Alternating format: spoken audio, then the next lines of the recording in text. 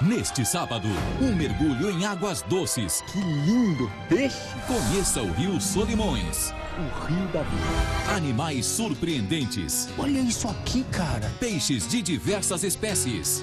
Que diferente, velho. Acompanhe a rotina de quem vive às margens do rio. E ainda, Richard encontra uma serpente incrível. Vocês estão convidados a entrar nessa canoa agora. Venham. Aventura Selvagem, neste sábado, seis e meia da tarde, no SBT.